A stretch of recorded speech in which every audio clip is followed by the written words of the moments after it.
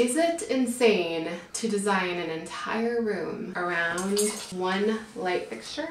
Well, if that's insanity, count me in. That's totally not the same, is it? So there's a terrier panting down there just over. You're gonna talk. We're gonna talk about our Moroccan light.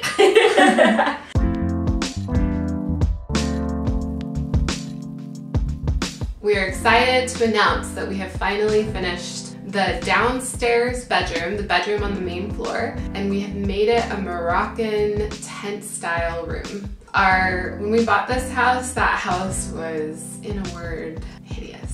It had linoleum floors and was decorated in, in a, a somewhat frightening manner with pretty awful drapes. So we are excited to rip it all out. We had some guys come in and rip out the linoleum floors throughout the main floor and underneath discovered the original 1888 floorboards. So we struck gold with this house and the fact that we have these beautiful original hardwood floors throughout the house. Courtney and I have been really lucky. We've gotten to go to Dubai three times now, and it's a beautiful city. It's it's just vibrant. It's so culturally and worldly, and, and it's just I've gotten to create there, which is such a blessing. But one of the things that we picked up when we were out there were these a couple of lights. The lights and I, I mean the products in general are beautiful, but we were at a souk and we were like, we're gonna buy these two lights, one for each of us, because we might use it one day down the road, and and we've just had it in our basement forever. Um, and so now that we're you know redoing these rooms here in the Denver short-term rental, it's amazing because we get to pull out one of those lights, and we've we've completely formed the entire room and created the entire room around that specific light. We found these really cool stencils on Amazon, and we each took one for different sections of the room that we were working on.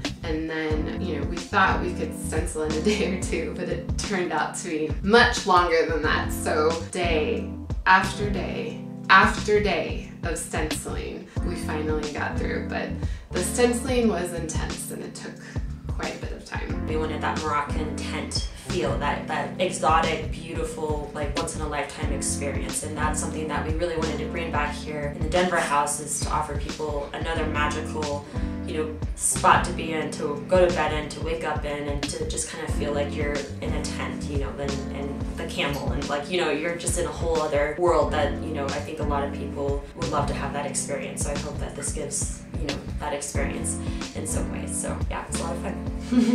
After that, we picked a bed, we picked the lamps. I stenciled a little bit more on these really cute side tables that we had a really cute shape. We bought them in an estate sale. They were ugly as sin. So we painted them white, did some stenciling on the top, and I think they came out really cute. And voila, here is our Moroccan tent room. We're really proud of it and we just hope that people feel transported when they come to stay. If you guys have any questions about the room, leave me a comment below and I'm going to do my best to include all of the links to everything in the room, the paint, the stencils, the bed, the lamps, all that good stuff. Thank you.